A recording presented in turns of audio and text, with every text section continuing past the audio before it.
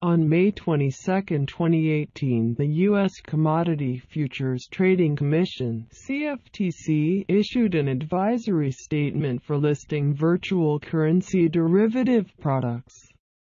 The statement is aimed at providing clarity for exchanges and clearing houses.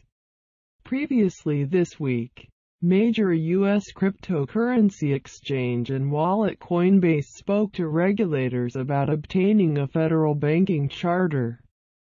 Those events came in the midst of uncertainty regarding the status of crypto in the U.S. as federal regulatory bodies still haven't come up with one definitive scheme to regulate Bitcoin. Altcoins and initial coin offerings ICOs. There are currently a number of federal regulators involved in crypto, and all of those bodies view cryptocurrencies like Bitcoin differently, defining it as a security, money, property or a commodity. Furthermore, on a state-to-state -state level, some additional regulations may apply. With the absence of one definitive regulatory framework at the federal level, cryptocurrencies in the country fall into various categories, all of which must be considered.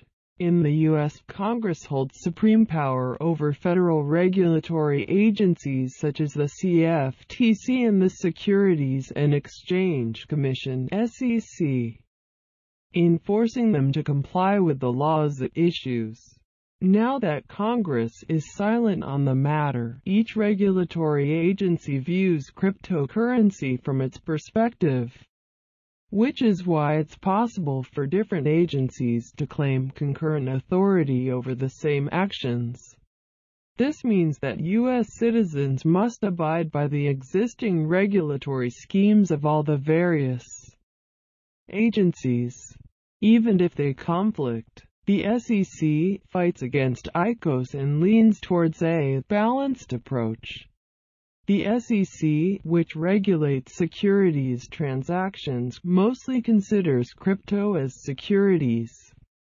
According to the 70-year-old Howey test, which the SEC applies to determine the purview of its jurisdiction, a security involves the investment of money in a common enterprise in which the investor expects profits primarily from others' efforts.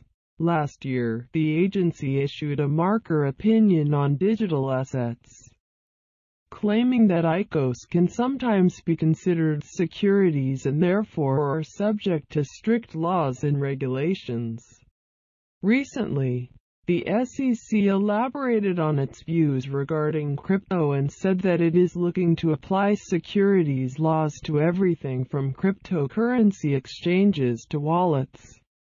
ICOs appear to be the agency's primary focus, as in February 2018 the SEC came through with a sweeping probe, issuing subpoenas to shut down a number of unregistered securities among ICOs. Prior to that, SEC Chairman Jay Clayton accused many promoters of ICOs and cryptocurrencies of not complying with securities laws. Whilst he previously recognized ICOs as potentially efficient fundraising tools in an op-ed published by the Wall Street Journal. Clayton also warned that the SEC will vigorously pursue those who seek to evade the registration disclosure and anti-fraud requirements of our securities laws. In a hearing at the U.S. House of Representatives in April, William Hinman, the director of the SEC's Division of Corporation Finance, explained why his agency had not completely banned ICOs, hinting that the SEC leans towards a balanced approach regarding digital assets and coin offerings and that the area that continues to evolve. Hinman also followed previous comments from Clayton that most ICOs should be considered securities. According to Hinman, the SEC would be consulting with entities releasing tokens to verify that the offerings were either regulated or not qualified as securities. When asked if he could think of an instance in which an ICO would not be seen as the offering of a security, Hinman replied, in theory. There is a time when a coin may achieve a sort of decentralized utility in the marketplace. There are some coins where you wouldn't have an issuer to regulate. In theory, there may be coins where that lack of a central actor would make it difficult to regulate as a securities offering.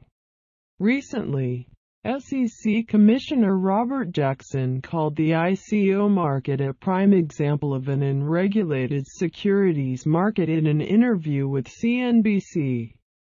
If you want to know what our markets would look like with no securities regulation, what it would look like if the SEC didn't do its job? The answer is the ICO market. Jackson also said that he hasn't yet seen an ICO that wasn't a security and currently, there are no ICOs that registered with the SEC. However, in early March, the Praetorian Group filed with the agency to register their ICO as a security offering. If their application is accepted, they will become the first company to hold an SEC-regulated ICO. Thank you for listening to my channel. Please subscribe for get hot news in the world.